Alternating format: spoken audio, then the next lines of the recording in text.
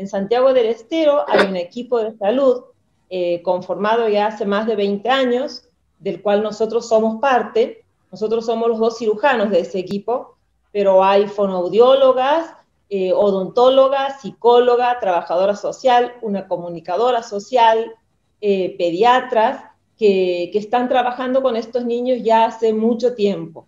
Eso nos ha transformado en uno de los equipos más importantes del, país.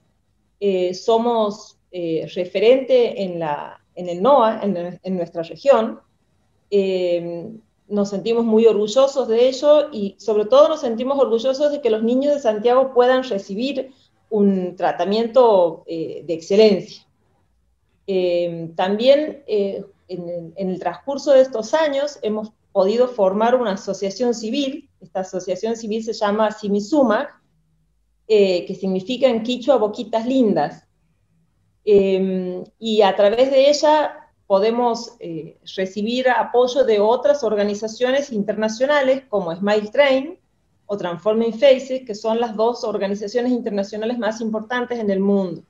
Eso nos ha permitido capacitarnos a todos los miembros del equipo y desarrollar otras acciones. ¿Cómo es el trabajo que hace esta asociación, si me suma específicamente? ¿Cómo están trabajando? la, idea principal cuando la formamos era organizar unas jornadas nacionales. Todos los años se realizan en Argentina las jornadas nacionales eh, de fisura labial palatina.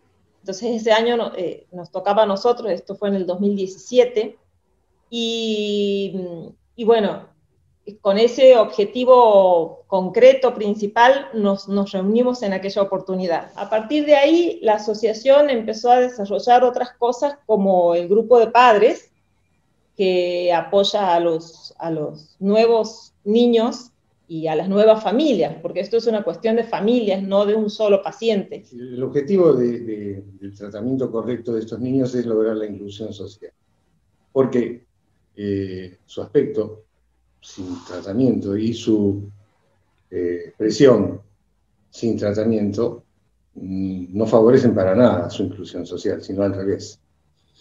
Eh, entonces nosotros nos podemos ocupar de las cosas técnicas, porque para lo que nos entrenamos, los odontólogos para la parte odontológica, los cirujanos para las operaciones, los fonoaudiólogas para, para, para la pronunciación de la palabra, eh, es esos son los aspectos técnicos, pero con eso simplemente no logramos el objetivo final que es la inclusión social.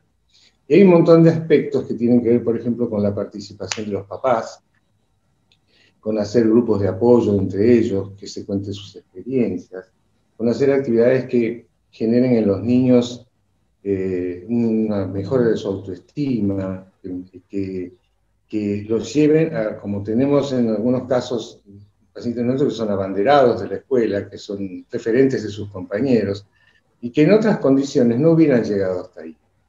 Obviamente, lo, primero es hacer un buen tratamiento, ¿no? No queda ninguna duda de que un niño con tratamiento insuficiente tiene resultados incompletos y se le hace muy difícil si no pronuncia bien las palabras, si no tiene un aspecto, eh, no digamos belleza, si no tiene un aspecto aceptable, ¿cierto? Eh, eh, pero todo lo otro, en lo que nosotros por ahí no estamos entrenados y fuimos aprendiendo junto con los papás, junto con gente que nos apoya, que colabora con artistas plásticos, con otro tipo de, disciplinas de, la vida, nos ayudó a dar un tratamiento realmente integral a estos pacientes. Y nuestros resultados en ese sentido, en el sentido de la inclusión de los niños, son buenísimos son buenísimos y nos satisfacen mucho. Eh, ¿Cómo han venido trabajando en este contexto de pandemia? Nosotros hemos, desde el principio de la pandemia, una, una un concepto que teníamos metido en la cabeza eh, era, eh, esto nos va a agarrar de pie, vamos a, vamos a seguir luchando paraditos, aquí seguimos. Entonces, la primera reacción fue de, parte de todos los miembros del equipo distintos, eh, distintas cosas. Por ejemplo, las fonoaudiólogas, las psicólogas eh, empezaron a desarrollar eh, gran actividad virtual con los pacientes. Empezar a enseñar a los papás a usar el Zoom, las, las conversaciones por WhatsApp, las videollamadas, para seguir dando las terapias a través de la virtualidad. Incluso hasta nosotros, hasta los cirujanos, nos han hecho dar algunas clases pequeñas eh, para los papás, de preoperatorio, de postoperatorio. Nosotros como cirujanos hemos presentado, fuimos el primer equipo en el país en presentar un protocolo para volver a operar en, contexto de pandemia. Con seguridad. Con seguridad. ¿Eso qué significa? Bueno, un montón de estudios prequirúrgicos y de reglamentaciones que hemos, nos ha llevado un tiempito, unos días de estudio y de investigación, poder escribirles y presentarlas ante el ministerio, fueron aprobados. Gracias a eso, hoy seguimos operando, por ahí menor cantidad de pacientes de las que operábamos antes de la pandemia, pero seguimos operando, porque los chicos que, que tienen las cirugías primarias, como les decimos nosotros, o sea, el labio abierto que se opera entre los 3 a los 6 meses, tienen que ser operados porque esa es su mejor oportunidad quirúrgica. Eso no se debería perder. Para una familia no es lo mismo que a su niño lo operen cuando tiene que ser operado a que pase el tiempo y pase un año y, no, no siga con su labio abierto. No, eso no puede pasar.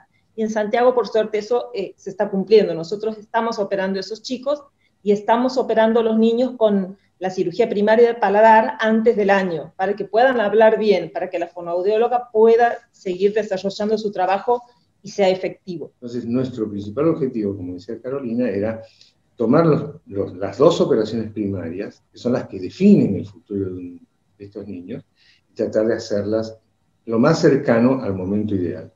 Y lo estamos logrando despacito y tranquilos, en un marco de seguridad para los pacientes, para los otros pacientes, para el personal del hospital, para las familias y para la comunidad en general. Hacemos estudios epidemiológicos de cada paciente antes de citarlo. Si los estudios epidemiológicos son satisfactorios, los internamos antes, hacemos pruebas diagnósticas para comprobar que no están infectados y esos pacientes se. Algunos no los hemos podido eh, tratar, obviamente. ¿Por qué? bueno, porque o, dieron test para COVID positivo Obviamente que ese paciente no podía entrar a un quirófano porque era un riesgo para él, para todos, para todo el personal y para toda la gente del hospital. O otros pacientes que estaban en zonas eh, eh, epidemiológicamente riesgosas. digamos, sí, operamos a los pacientes que están en condiciones realmente de ser operados sin significar eso riesgo para nadie. Con este proyecto de investigación que me contabas, que, surge de la cartera de genética. Con la asignatura de genética médica hemos presentado un proyecto que estamos desarrollando eh, sobre eh, la fisura labial-palatina en Santiago del Estero. La idea es hacer primero un estudio epidemiológico de toda nuestra, nuestra población y después seleccionar aquellos que tienen más de un miembro en la familia afectado por la anomalía y hacer una secuenciación de algunos de los genes que se cree hoy que están involucrados. Es un, trabajo similar al de muchos grupos de investigación en el mundo, lo que nos hace, bueno, eh, compañeros de todos los investigadores y quizás cuando eh, todos tengamos un buen número de genes secuenciados podamos llegar a alguna conclusión. Eh, eso nos va a llevar tiempo, pero creo que es un avance importante, en, sobre todo eh, dentro de la universidad, ¿no? llevar adelante investigación. Y también a, nosotros como equipo, que, pretendemos también fomentar entre todos la, la, investigación y dejar de ser solo un equipo que trabaja así suelto, sino pasar a ser un programa provincial de atención de niños con anomalías congénitas porque nuestro sueño, ya mirando en, lo, más grande, es poder eh, eh, copiar este, este modelo que hemos aplicado en, los niños con fisura labial palatina en otros niños con otras anomalías. Nosotros somos cirujanos del servicio de neonatología del hospital regional y también nos llaman de todas las neonatologías de la provincia, ya sea públicas o privadas. Entonces vemos los niños con todas las anomalías congénitas quirúrgicas y también no quirúrgicas de la provincia. Nosotros, nosotros pensamos mucho y coincidimos en todo, por supuesto, con Ramón Carrillo, que decía que, que los avances científicos no, no tienen valor si no son accesibles al pueblo. Entonces, si nosotros nos hemos formado, nos hemos especializado tanto, tiene que ser para llegar a nuestros, a, a nuestros comprovincianos. Si no, no, no importan. Muchísimas gracias por, por la entrevista, por este espacio. Bueno, gracias a vos y seguimos en contacto, Anabel. Chao. Chao. Gracias.